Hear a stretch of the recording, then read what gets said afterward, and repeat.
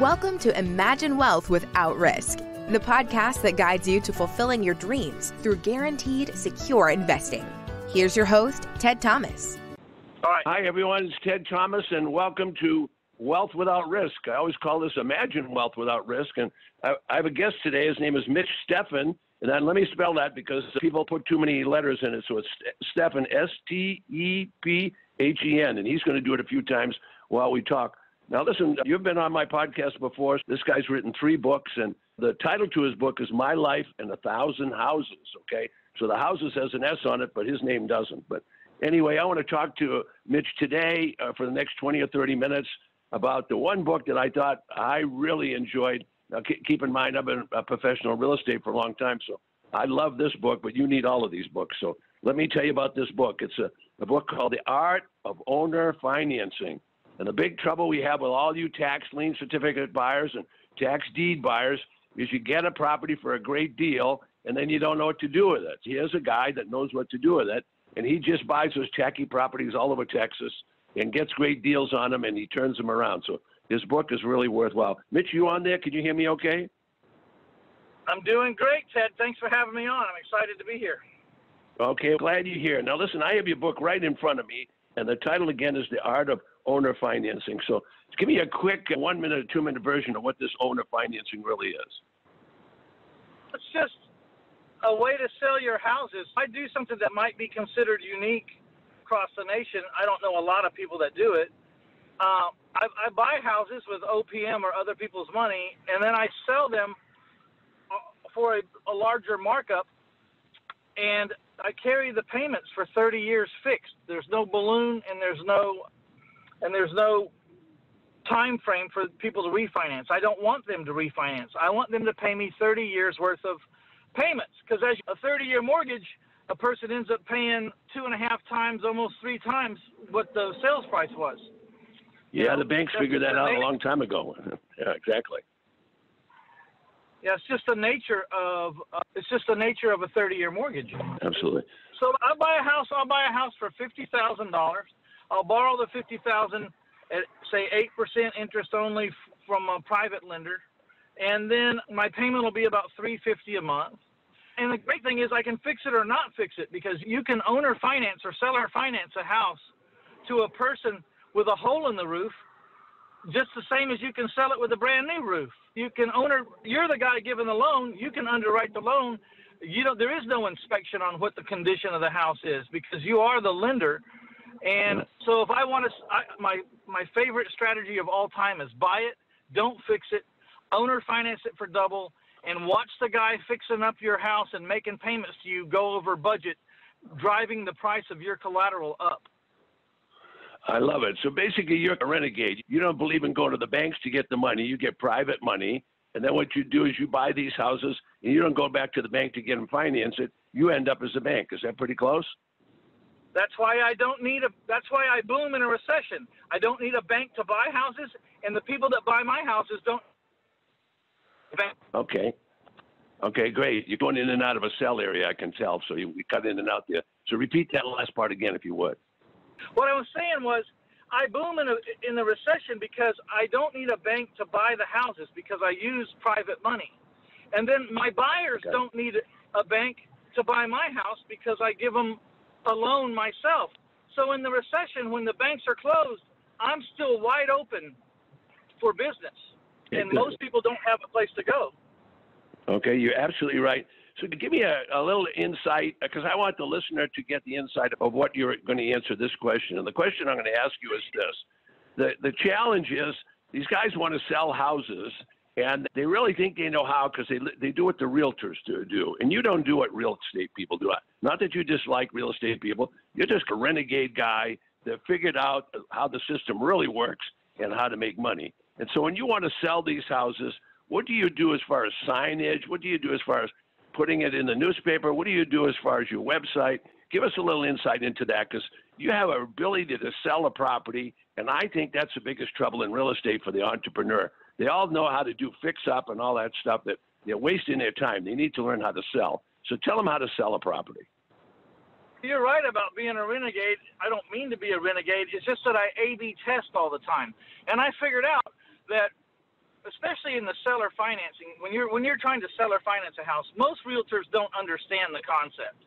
They Right. still want you to have appraisals and inspections and all this stuff. It's, they they they think it's their job most of the time to ruin the deal.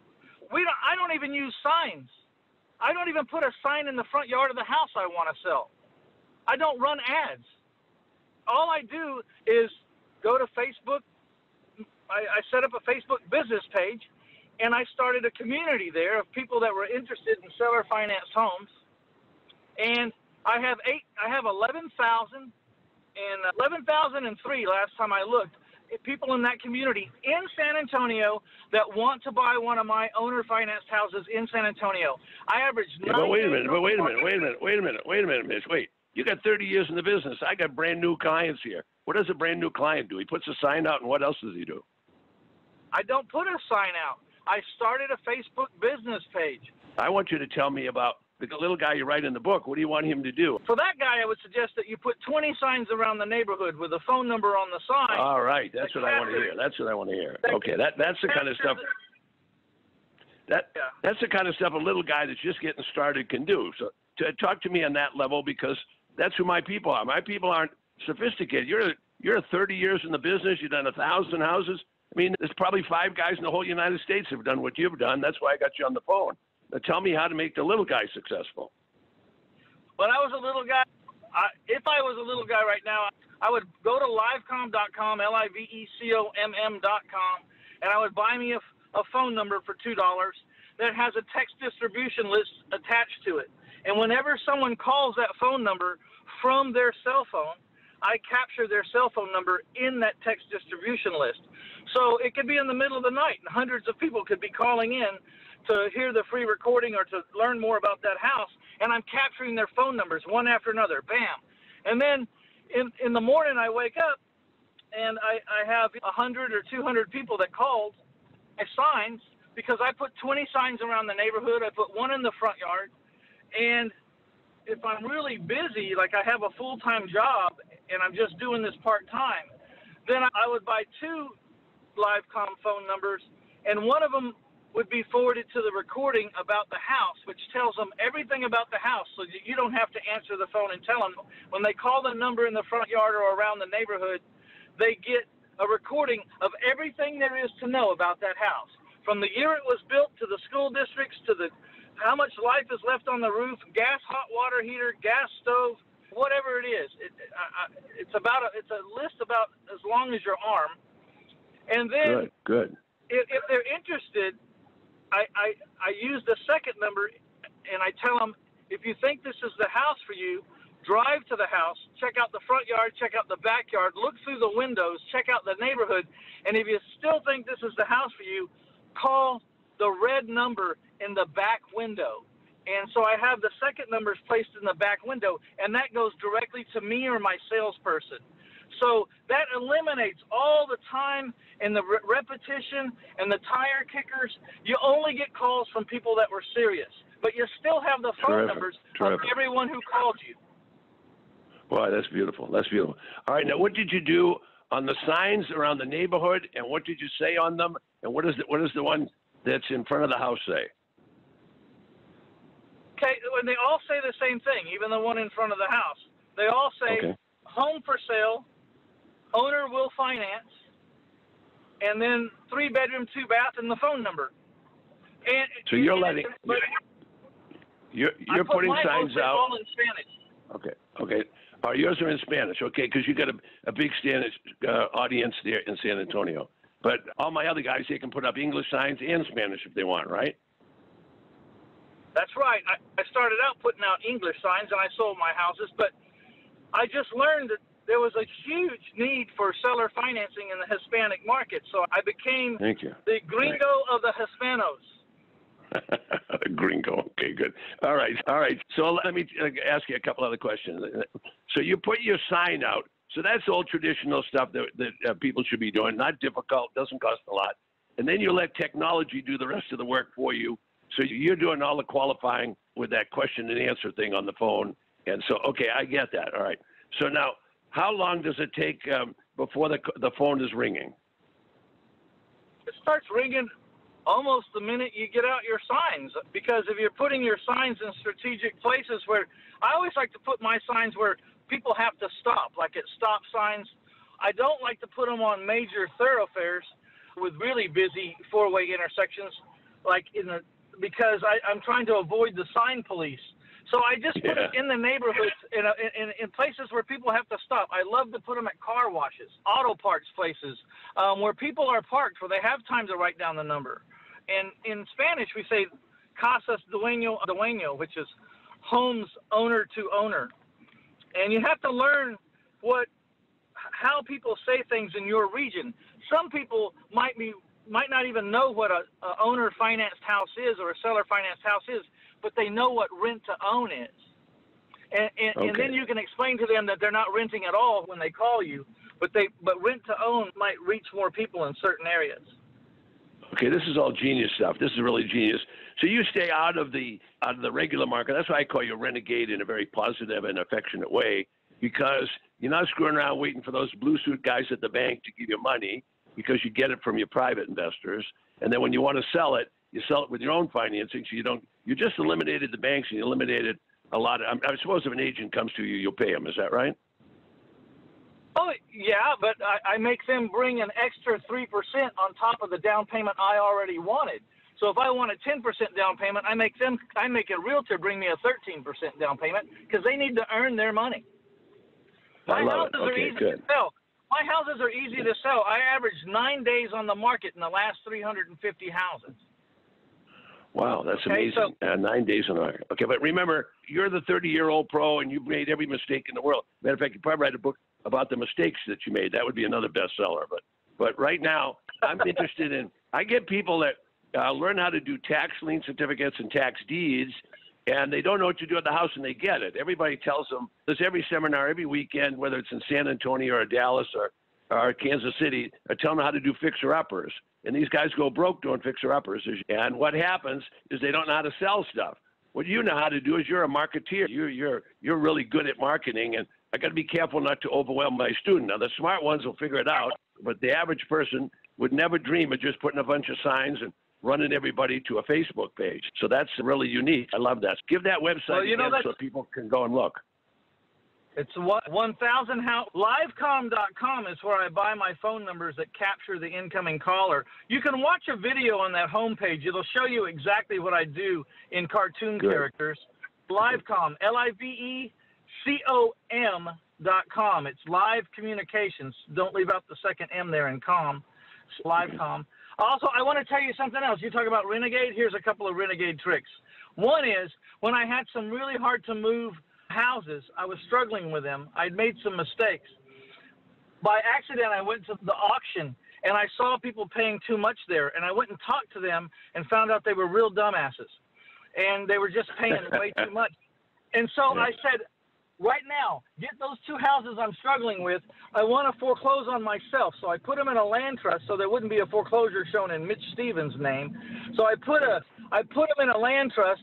And then I went to foreclose on the trust, which meant I didn't even have to wait any of the times because the only person that could protest the foreclosure that was done, if it was done wrong, would be me. And I'm foreclosing Yeah. on myself. So, so I just, the next foreclosure date, I just showed up with a trustee.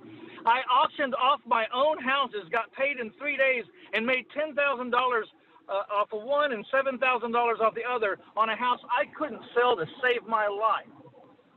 So, There you go. So uh, that there's there's what experience in real estate will do for you. So um, the average guy would have just lost his uh, assets, and, and you didn't lose your asset because you know that. All right, I want to take you back to your book, which is titled "The Art of Owner Financing." And would you tell people how to get that book again? you can get it at 1000houses.com and everything that comes from 1000houses.com is autographed. I have to chuckle because for the life of me, I don't know why anybody wants my autograph, but apparently a lot of people did, so I said I will make sure that happens. That's 1000houses.com and there's a ton of free stuff there. Just click under the free stuff tab. I actually have a an hour and 10 minute webinar on exactly how I'm seller financing houses and uh, there's all kinds of stuff there. Okay, good. All right, slowly take a couple of minutes and walk me through your process. How you buy it, how you get it financed, and then how you sell it, and how you sell the financing. I buy it by by using a formula that I back into the rent. I already know the people in this neighborhood that are living in these houses can afford the rent, or else they wouldn't be living there. I take the rent number and I I, I run it through a formula, and I arrive at a owner finance value or an OFV. If it, I haven't invented much in my life, but I invented the OFV. There's the ARV and the Mayo. So I find out the owner finance value, and then I know what to offer for the house. I shoot for 50%, but I don't always make it. But I average around 65% is what I pay for houses of what I can. Okay. Uh, 65% of what I can sell or finance them for. Okay. You want the formula? So you have immediate profit on sale is 35%. Is that right? Minimum. Minimum. Okay, good. All right. Now, how do you now you, you bought it? Are, are there plenty of these to buy? You wouldn't think so, but I buy a hundred a year for the last 22 years. Oh, Jesus. Okay, good. All right. How do you sell them? Just the way we talked about. I put signs to start out. I put signs all around the town. I live in San Antonio, two million people more or less. I put signs all around the town that says free list of owner financed homes, free list of seller financed homes. Casas Dueño a Dueño in a phone number. I put a hundred signs out a month for six months, all around town. And I started collecting all the incoming callers' cell phone numbers till I had 11,003 phone numbers. And then I, at the same time, I opened up a Facebook business page. And when people call one of those 600 signs around town over the last six months, plus there's signs in all my houses I have for sale, all of those numbers end up in the same place. Because in Livecom, you can text one single phone number or you can text all the phone numbers you have at one time. So I'm texting all of these phone numbers at some point saying, please go to my Facebook business page dot com forward slash Mitch's houses or whatever and like my page so that you can get instantly notified when I have a new home. That's what my recording says on all those signs. So those signs are capturing the phone number, but the message is saying go to my Facebook business page so you can see what's going on and I can help get you a house and everyone goes there. And there's 11,000 people that want a seller finance home, and we're posting pictures and the prices, and my sales guy is constantly adding material because it's not just a sales site, it's a community. People are asking questions, they want to know things, and we're trying to help them get answers. And other people in the community are answering their questions. They're talking about other investors in town that are no good, and and other people are confirming that don't buy from those people. Now we stay out of the arguments, but we don't avoid conflict. Some people have told us the price on your house is way too high. Only an idiot would buy that house. We have canned responses that our salesmen use that say things like, we understand that the house needs a lot of work and that it may not be for you, but please don't wreck the dream of a person that knows how to fix this house and wants it.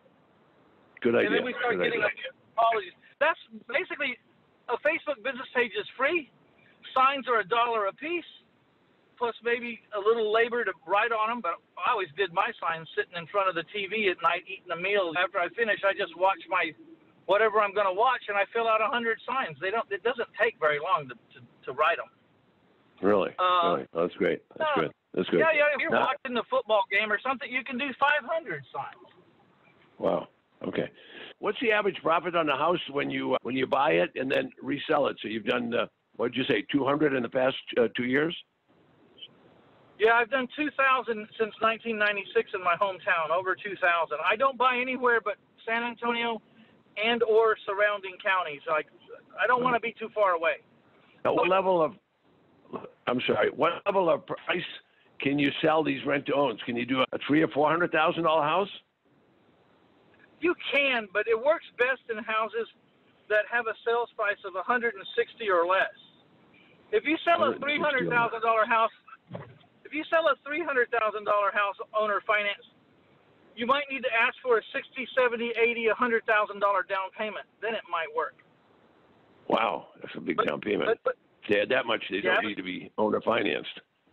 Yeah. no, that's not true. That's not true. There's a million reasons. I just did help the person in California owner finance an eight hundred thousand dollar house, and someone put two hundred and fifty thousand down. They're a Mexican national. They had more money than God. They didn't want to deal with a frickin' American bank, and they just had they just wanted to put some money down and buy his daughter a house that he wasn't responsible for the payments for, for her wedding.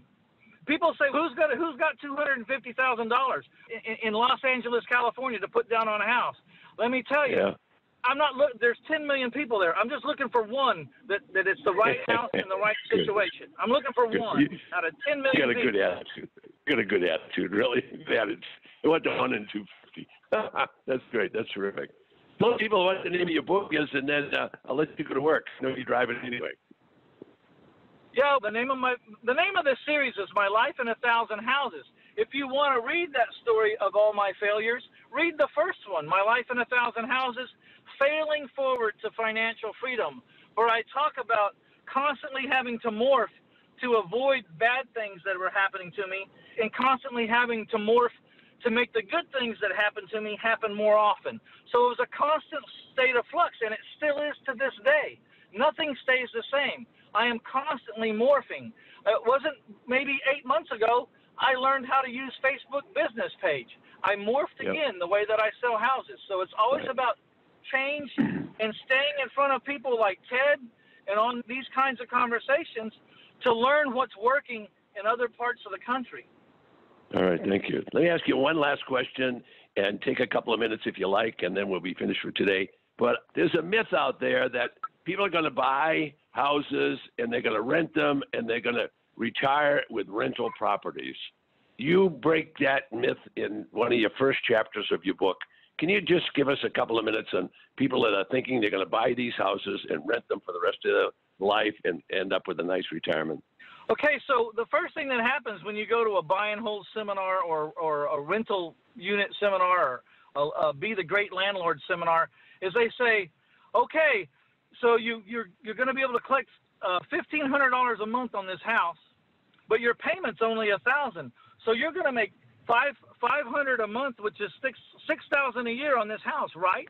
To which I immediately jump up and say, bullshit, because you just disqualified everything that can go wrong from the back fence to the front mailbox.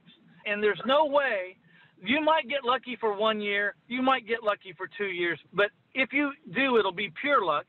They're not accounting for anything in the middle, and one bad tenant can take your whole year. Now, if you're trying to make a living or trying to get rich doing rental properties, you're probably going to find out within a year or two that you're lucky if you just break even and the house holds on to itself.